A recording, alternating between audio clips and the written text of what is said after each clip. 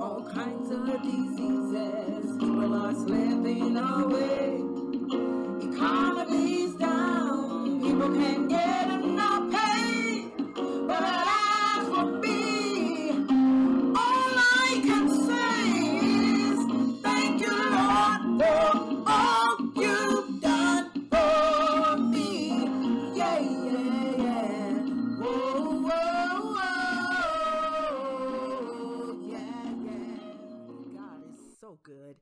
Truly, the Lord's mercy, it endures until the end. In the Gospel of John, the sixth chapter, I want to read in your hearing verse 35.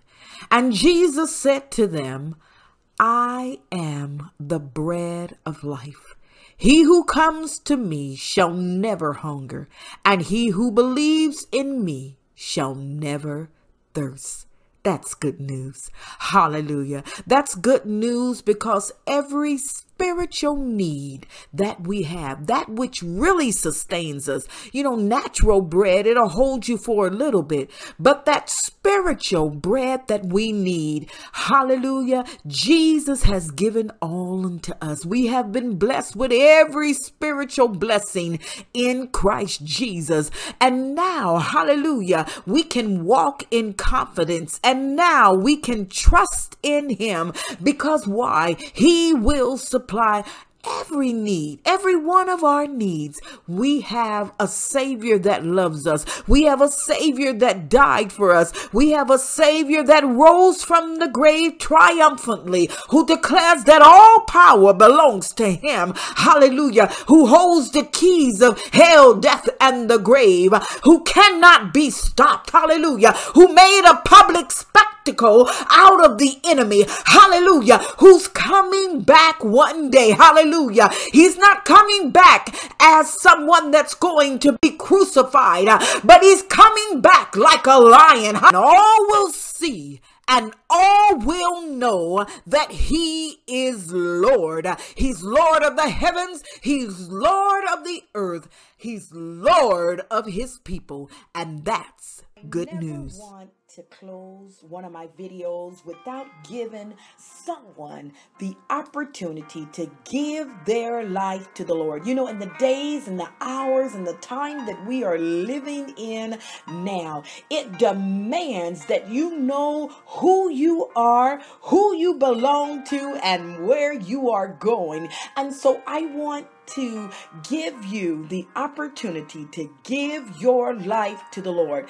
If you have not heard the story, the Bible declares that we were all born sinners. It says over in the book of Romans, all have sinned and fallen short of the glory of God. And that transpired back in the book of Genesis where Adam disobeyed God. And because of Adam's disobedience, sin and death entered into the world. And so Jesus, who was God's sacrificial lamb, because a price had to be paid for the sins of the world. So God sent in John 3 16, he says, For God so loved the world, he gave his only begotten Son, that whosoever believeth in him should not perish, but have everlasting life. So that's what I want to give you the opportunity to do today to accept Jesus as your personal Lord and Savior, to wash away all of your sins. Romans 10 9 says, If you confess with your mouth the Lord Jesus, believe in your heart that God has raised him from the dead,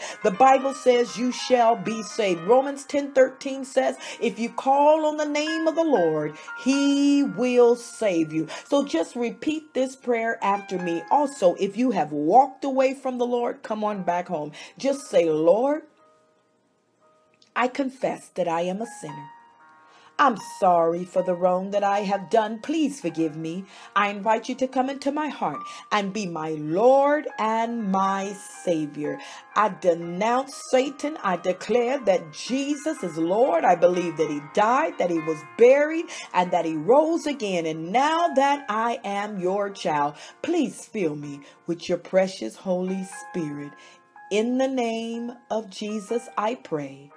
Amen. If you have said that prayer, God bless you. Welcome to the family of God. Know today all of heaven is rejoicing because you have chosen to make Jesus your personal Lord and Savior. Welcome again to the family of.